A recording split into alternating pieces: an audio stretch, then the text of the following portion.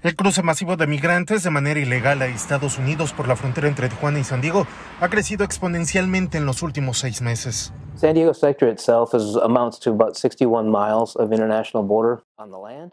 El sector de San Diego tiene 98 kilómetros terrestres. Tenemos escenarios donde cruzan frecuentemente migrantes a Estados Unidos, pero en las últimas semanas tenemos más y más grupos de 50, de 100, de 150 personas cruzando al mismo tiempo a Estados Unidos. Este es un cambio significativo con más grupos grandes que no veíamos en esta área. Um, with more and more very large groups, we don't see that very often in our area. Es el propio jefe de la patrulla fronteriza sector San Diego quien revela que la mayoría de estos grupos de migrantes no son mexicanos, provienen de todas partes del mundo. En una ocasión, en un solo conjunto de personas había de 27 tipos de nacionalidades, incluyendo de Nepal y Afganistán.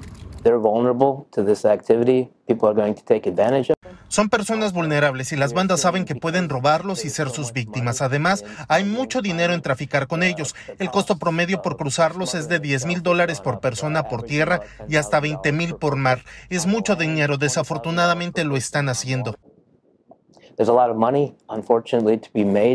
Las ganancias que genera el tráfico de personas ha provocado una disputa entre los grupos criminales. En la última semana se registró un enfrentamiento a balazos en el cañón Cooper, a 8 kilómetros al este de la garita de Otay.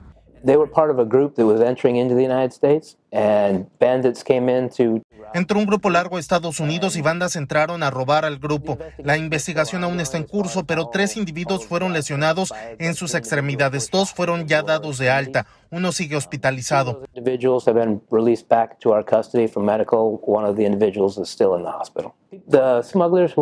Las personas que están cruzando migrantes están peleando por las áreas para cruzar migrantes. Están peleando entre ellos y esto pone en peligro a los migrantes. Pueden estar en medio de este pleito.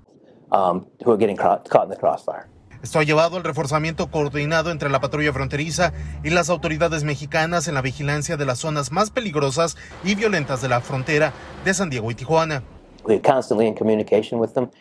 Tenemos comunicación continua con ellos para determinar las áreas donde vemos mayor violencia y más actividad. Nosotros nos movemos al norte y ellos en el sur. Tenemos mayor cuidado en algunos escenarios.